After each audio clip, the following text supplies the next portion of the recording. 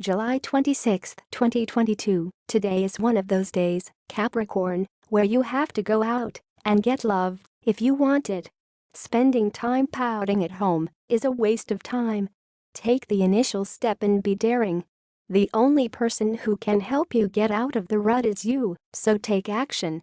Your amorous intentions are fueled by a lot of emotion right now, Cupid, so take caution where you aim your arrow.